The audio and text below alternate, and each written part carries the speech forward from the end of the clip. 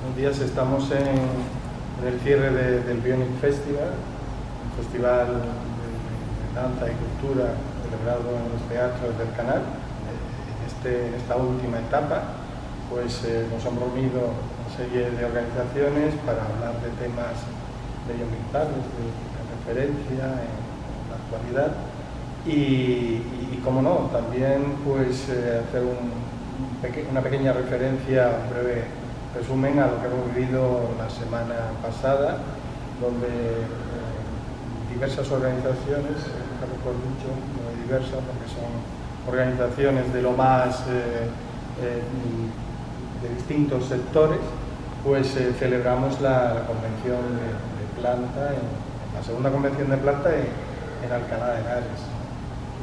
y estas organizaciones, a las que yo represento aquí un millón de árboles, como, participante de, la misma, eh, Miguel Ángel Ortega en representación de Reforesta, también estuvimos allí, y, Paloma López eh, en, representación de Circular Project.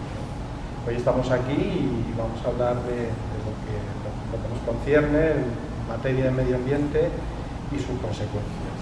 Paloma, si quieres eh, comentar algo al respecto y presentarte. Bueno, eh, yo, soy Paloma y, lo que he hecho a lo largo de los últimos nueve, eh, bueno, casi diez años, nueve que empecé con el proyecto, eh, es un poco esa bajada al barro que comentábamos antes fuera de, de, cámara, de ver que había cosas que hacer que no se estaban haciendo y eh, la vida me puso en la situación de, poder elegir qué, quería seguir haciendo con mi vida y, decidí pues hacer algo que realmente me gratificara y que viera que eh, eh, estaba realmente aportando algo a esa transformación que todo, a todo el mundo se le llena la boca.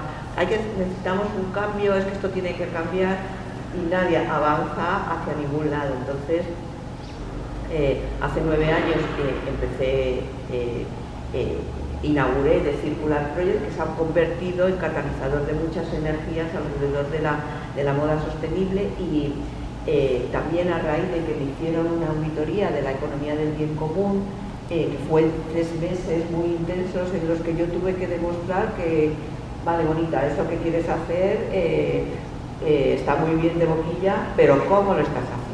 Vamos a ver, durante tres meses te vamos a estudiar.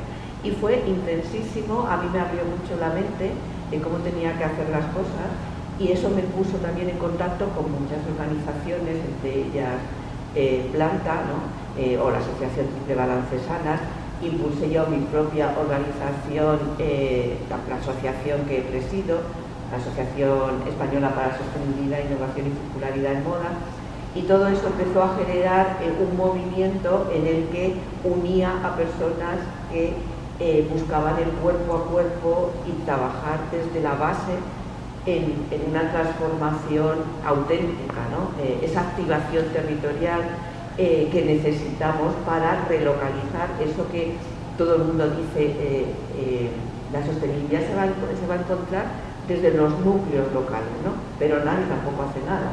No establecemos esas redes eh, auténticas y fortalecidas, porque las buenas intenciones están muy bien, pero luego necesitamos que eso se trabaje eh, en, fortaleciendo esas pequeñas iniciativas que se unen. Y eso es lo complicado, ¿no?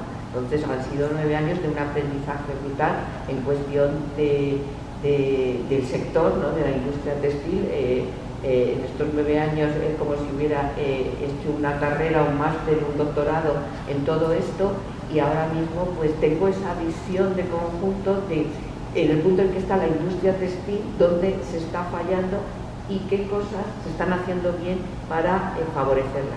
Y me callo porque si no hablo yo sola porque tengo rollo para rato. Bajar al barro. Yo creo que Ahí está. Es una de las frase más interesante que, de alguna forma nos trae aquí, o sea, que organizaciones eh, comunes, eh, que, no somos macroorganizaciones, pues estamos intentando en el día a día pues aportar nuestro granito de arena. Y Miguel Ángel, pues desde Reforesta, el enfoque que ponéis vosotros, pues adelante. somos una ONG que yo fundé en 1991, que nos dedicamos a recuperar la vegetación autóctona, como nuestro nombre más o menos sugiere, y también hacer actividades de educación ambiental, sobre todo a través del voluntariado, que también hacemos otro tipo de actividades. Y privilegiamos fundamentalmente el trabajo eh, en zonas semiáridas, eh, porque España tiene un problema importante de desertificación, aunque también están avanzando los bosques, bosques que por otro lado están debilitados por una serie de razones.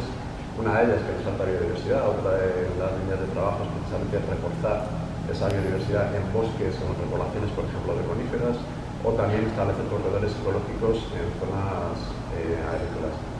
Y a nivel particular, pues soy el autor de, este libro, Sostenique, Sostenibilidad o el reto de transformar la mente humana, que creo que tiene bastante que ver con uno de los temas fundamentales que vamos a, tocar hoy, eh, que creo que es eh, clave, que es fundamental, que es existencial, que es la salud mental, que tiene mucho más que ver con el medio ambiente probablemente de lo que a priori podríamos eh, considerar. A modo de, introducción, lo ha dicho Miguel Ángel, el tema que nos trae aquí hoy es la salud mental y evidentemente yo creo que eh, el medio ambiente tiene mucho que, decir en esta línea la consecuencia de la situación medioambiental pues hace que, se traduzca en, el estado de las personas, en la salud mental. Yo lo entiendo así, yo he hecho una pequeña chuletilla, eh, he mirado cuál es la definición de salud mental, he encontrado varias definiciones de salud mental, pero todas eh, subrayan que se entiende como la capacidad del individuo para alcanzar un equilibrio emocional y conductual en relación, esto es lo importante, en relación con su entorno sociocultural y medioambiental.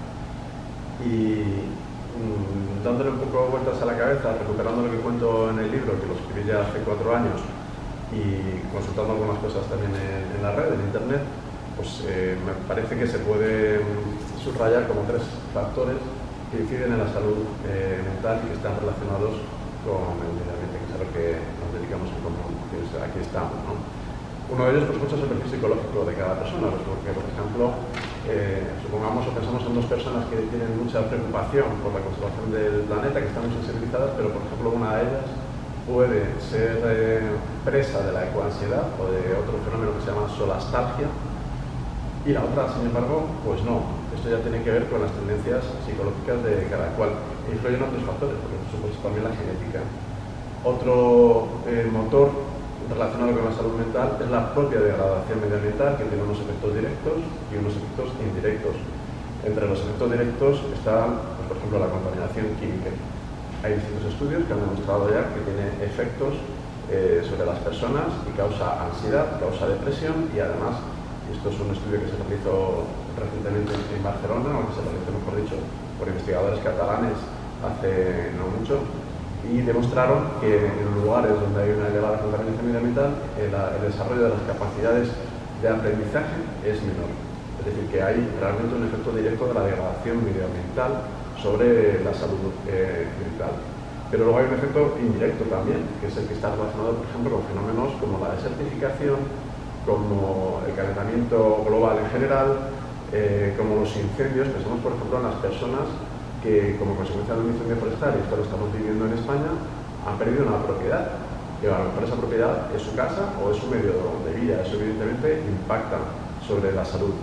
Eh, se puede generar, y de hecho se está generando un empobrecimiento relacionado con el calentamiento global, con el cambio global, que incluye el calentamiento global, pero que va más allá del calentamiento global, y que puede producir, y está produciendo ya de hecho, pues guerras, tensiones, eh, desigualdades, migraciones. Ayer mismo escuchaba en la televisión que el calentamiento global en la desertificación puede ser una de las causas que están motivando eh, este incremento de la migración y que en particular se está reflejando sobre todo sobre la isla del, Hierro.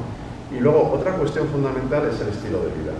El estilo de vida, pero que tiene que ver con el contexto social y el contexto social a su vez refuerza el estilo de vida. De hecho, todos estos factores están relacionados entre sí. Y dentro de este contexto social, pues yo mm, resaltaría la competitividad extrema en la que nos hemos abocado, que genera tensiones, que genera tensiones en el día a día de las personas.